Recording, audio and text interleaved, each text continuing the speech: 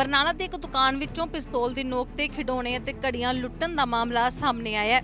Police ਨੇ ਇਸ ਲੁੱਟ ਦੀ ਵਾਰਦਾਤ ਨੂੰ ਅੰਜਾਮ ਦੇਣ ਵਾਲੇ ਵਿਅਕਤੀ ਨੂੰ ਕਾਬੂ ਕਰ ਲਿਆ ਇਸ ਬਾਰੇ ਜਾਣਕਾਰੀ ਦਿੰਦਿਆਂ ਪੁਲਿਸ ਦਾ ਆਖਣਾ ਹੈ ਕਿ ਇੱਕ ਵਿਅਕਤੀ ਦੁਕਾਨਦਾਰ ਨੂੰ ਨਕਲੀ ਪਿਸਤੌਲ ਦਿਖਾ ਕੇ ਉਸ ਦੇ ਕੋਲੋਂ ਘੜੀਆਂ ਅਤੇ ਖਿਡੌਣੇ ਪੈਕ ਕਰਵਾ ਕੇ ਫਰਾਰ ਹੋ ਗਿਆ ਸੀ, ਜਿਸ ਨੂੰ ਅੱਜ ਬਰਨਾਲਾ ਪੁਲਿਸ ਨੇ ਸਮਾਨ ਸਮੇਤ ਹੀ ਗ੍ਰਿਫਤਾਰ ਕਰ ਲਿਆ ਉਹਨਾਂ ਦੀ ਦੁਕਾਨ ਤੇ ਉਹਨਾਂ ਨੂੰ ਡਰਾ ਕੇ, ਧਮਕਾ ਕੇ ਲੁੱਟ ਕੇ ਲੈ ਗਏ ਸੀ।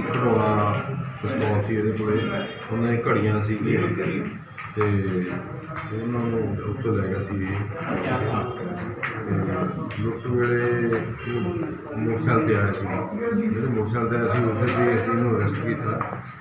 ਤੇ ਦੋਸ਼ੀ ਦੀ ਗੱਲ ਦਾ ਦੋਸ਼ੀ ਦਾ ਉੱਤੇ ਸ਼ਨਾਖਤੀ ਉਹ ਵੀ ਗਿਰ ਗਿਆ ਸੀ ਵਾਰਦਾਤ ਵੇਲੇ। ਤੇ ਫੋਟੋ ਗਿਰ ਗਿਆ ਸੀ ਫਿਲਹਾਲ ਪੁਲਿਸ ਨੇ ਮਾਮਲਾ ਦਰਜ ਕਰਕੇ ਅਗਲੀ ਕਾਰਵਾਈ ਸ਼ੁਰੂ ਕਰ ਦਿੱਤੀ ਹੈ। ਬਰਨਾਲਾ ਤੋਂ ਹਿਮਾਂਸ਼ੂ ਦੁਆ ਦੀ report.